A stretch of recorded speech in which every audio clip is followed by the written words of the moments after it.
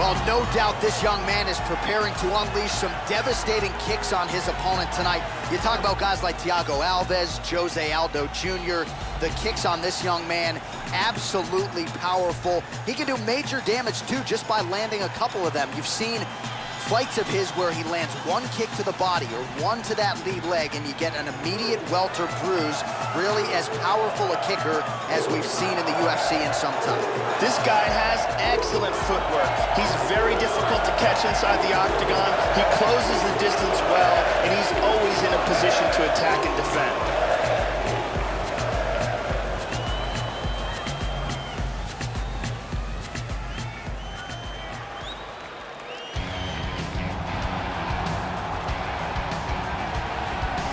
Well, you get cracked by John Hands of Stone Lineker, and more often than not, you end up twitching on the canvas. This guy is big a power threat as we have seen in the UFC bantamweight division. John Lineker has spent much of his bantamweight career in that top five.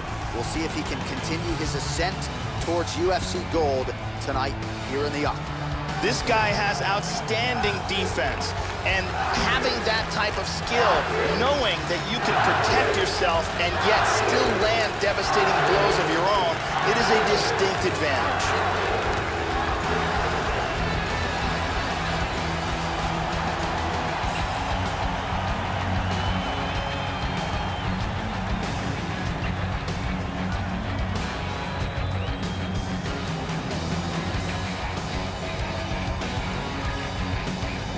Tail the tape now for this featherweight fight. Both fighters are 28. Rivera is one inch taller. He will have a one inch reach advantage. And once again, here is the veteran voice of the Octagon, Bruce Buffer. Ladies and gentlemen, this is the main event of the evening.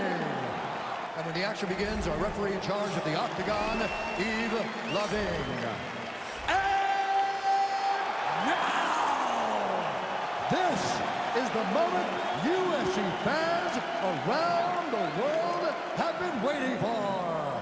Live from the sold-out Madison Square Garden Arena in New York City.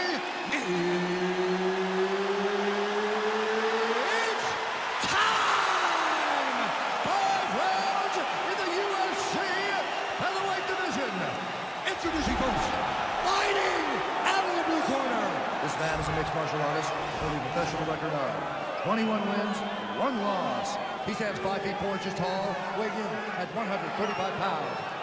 Jimmy Altera Rivera!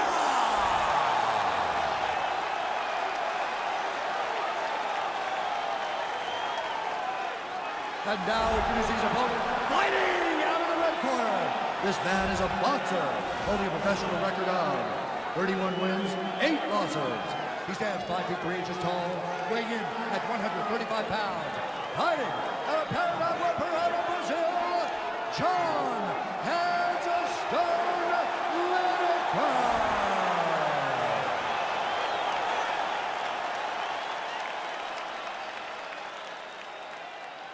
Okay, protect yourself at all time, obey my command at all time.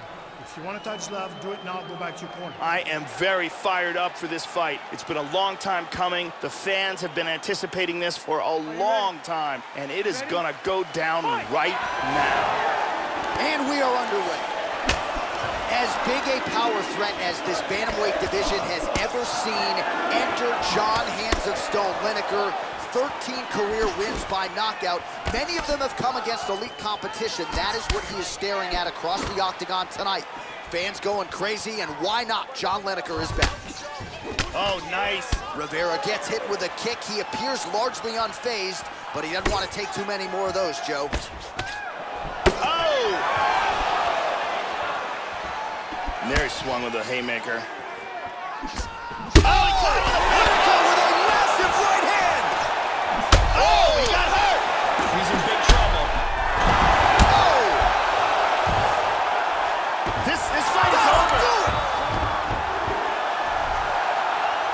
Had his opponent badly hurt, and he gets a TKO victory early in the first round. Well, Joe, you'll never hear me complain about an early stoppage, only the late ones, and I thought this was really a perfect job by the referee. The offensive fighter was at his aggressive best. He was continuing to inflict damage, and once the defensive fighter stopped intelligently covering up and preventing damage, if you're the referee, you got to stop the fight, and that's exactly what he did. And let's see if we can get a better look at that from another angle. So a big win for him here tonight, and a big statement made with that TKO. Let's see how the promotion chooses to matchmake him moving forward. The decision Ladies is inside the octagon. It Ian resides with Bruce this Buffer. At 48 seconds in the very first round. Declaring the winner by TKO, Jimmie El Terror Rivera.